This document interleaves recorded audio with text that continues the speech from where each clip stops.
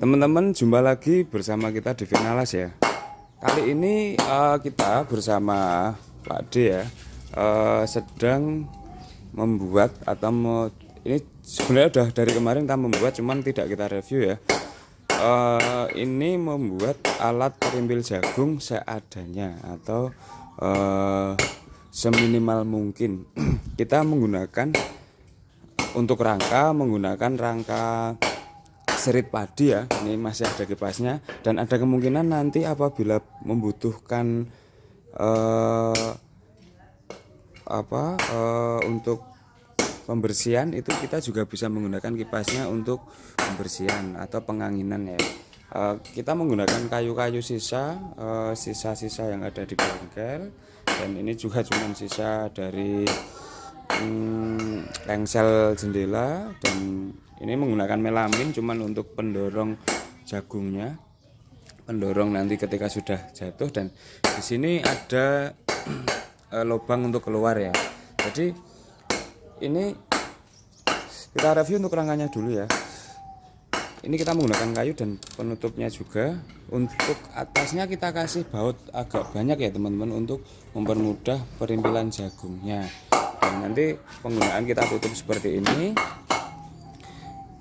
ini nanti bisa juga dikasih karet untuk penahan ya biar tidak naik naik naik turun gitu atau berubah posisi. Dan ini memang full menggunakan kayu untuk kerangka luar atau kerodongnya dan sini ada kayunya. Nanti di sini juga ada kayu teman-teman untuk menahan jagungnya. Dan kali ini uh, untuk untuk tengahnya kita menggunakan besi 16 mili dan menggunakan puli besi ya. Ini kita cuman menggunakan lakar angkong gitu nih kita menggunakan lakar angkong dan ini juga menggunakan besi bekas teman pipa bekas. Uh, untuk ketebalan monggo sih nggak nggak bermasalah berapapun boleh.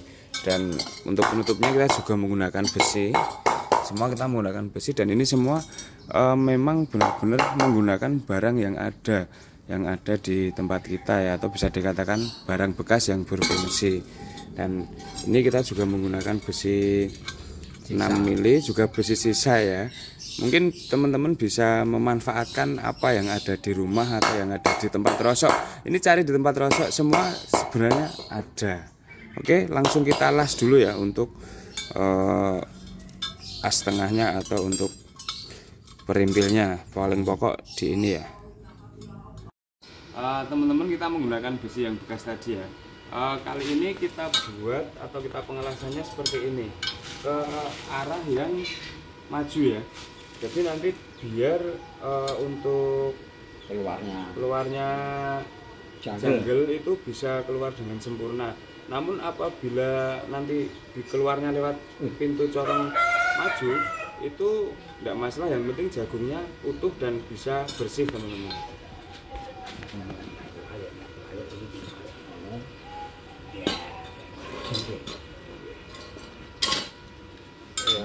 langsung kita ketik las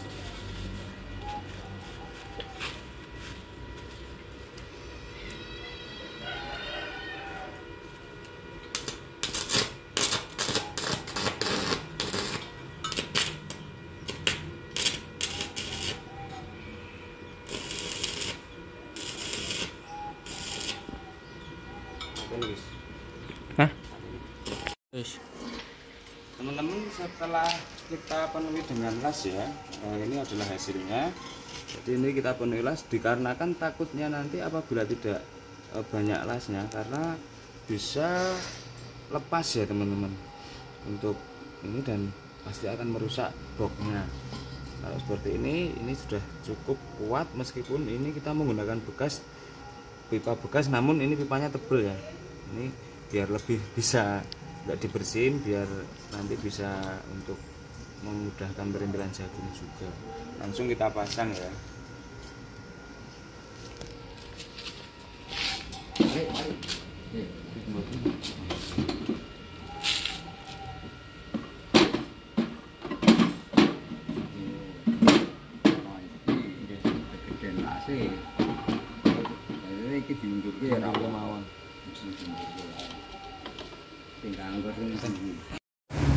Teman-teman setelah tadi kita alas dan ini sudah jadi ya untuk alatnya.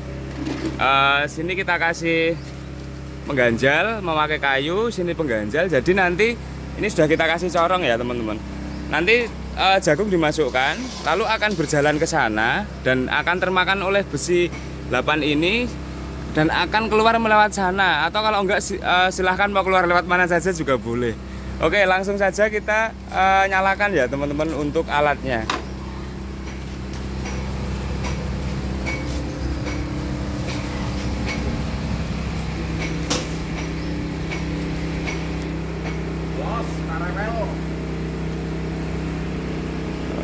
suhunya datang ini teman-teman oke okay.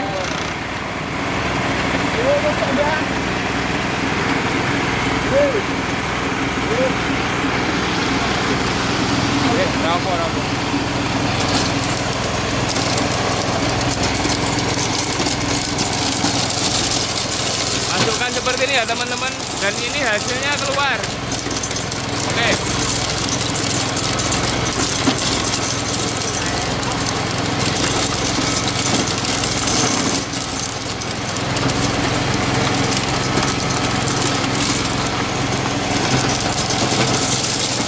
Oke mungkin itu ya teman-teman yang dapat saya sampaikan untuk pembuatan perimpil jagung seadanya. Mungkin bila teman-teman ingin uh, memiliki sebuah uh, perimpil jagung bisa langsung datang ke tempat kita dan mungkin bisa langsung untuk pembuatannya memakai bahan apa saja kita akan melayani ya teman-teman. Jangan lupa untuk selalu tonton terus channel kita dan kita tunggu untuk subscribe nya terima kasih